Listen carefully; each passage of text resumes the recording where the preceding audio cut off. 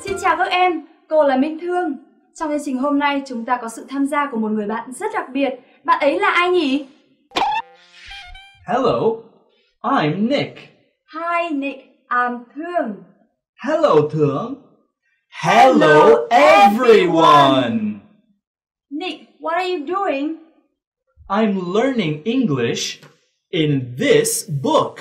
Oh, I have the same one.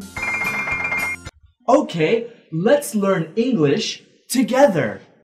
Okay.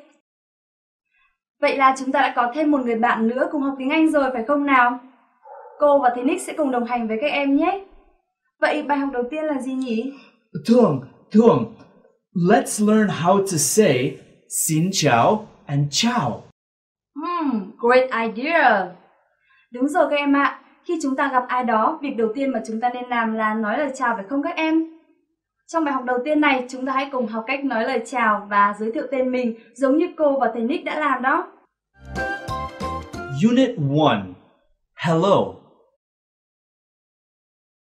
Các em ạ, để chào hỏi mọi người, chúng ta có thể sử dụng hai câu chào hello hoặc hi.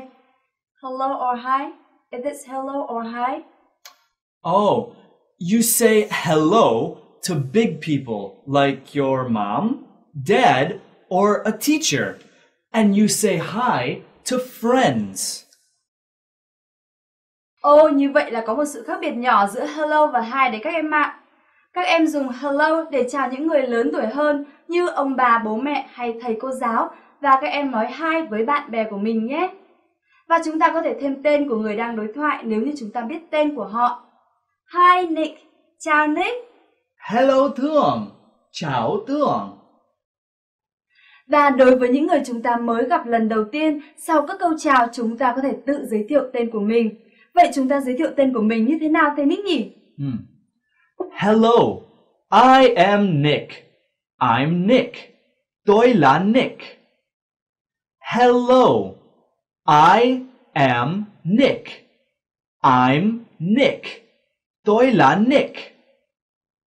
Ồ, như vậy để giới thiệu tên của mình, chúng ta sử dụng cấu trúc I am hoặc dạng rút gọn am cộng với tên của mình đấy các em ạ.